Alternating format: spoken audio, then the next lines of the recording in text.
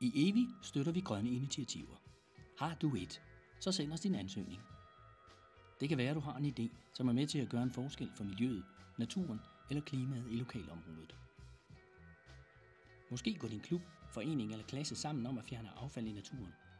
Eller du har en genial idé til at genanvende materialer, eller at spare mere på energien.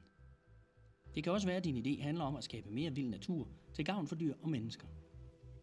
Undersøg mere om vores sponsorpulje Grønne Initiativer og send din ansøgning på evi.dk.